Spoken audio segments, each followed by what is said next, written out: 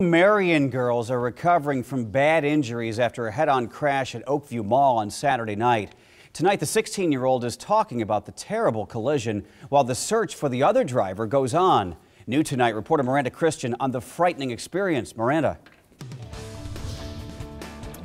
I spoke with Maddie Reed today. She is out of the hospital, but she has a long road to recovery, and she's hoping the man behind this accident is found. It was supposed to be a quick trip to the food court at the Oakview Mall. Right when we came around the curve, Sydney yells, Maddie! And then two seconds later, it just smashed into me. Maddie Reed's car was hit head on, leaving her and her friend nearly trapped. Reed says she saw a man with a mustache sitting behind the wheel of a large white utility vehicle. She says he and his passenger disappeared. Me getting out of my car mainly was when it hit me, and I just broke down. Reed's grandmother, Joan Reed, says she raced to the accident after a hysterical call from Maddie. When I saw the car, when I saw the, you know, the impact and the condition of the car, all that went through my head was, I, I, can't even believe that these two girls are still alive.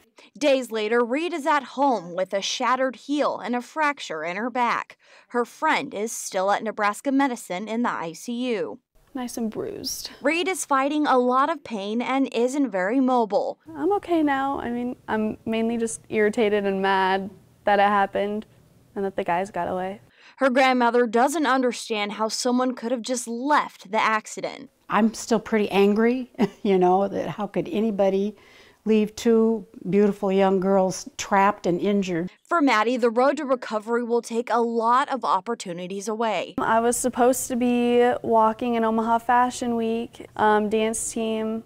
I'm going to be sitting out of for a while. But through the accident, she's kept her spirits up, and it's now all about her and her friend getting better. She said she's going to be okay. She knows I'm going to be okay. I know she's going to be okay, so it's all that matters now.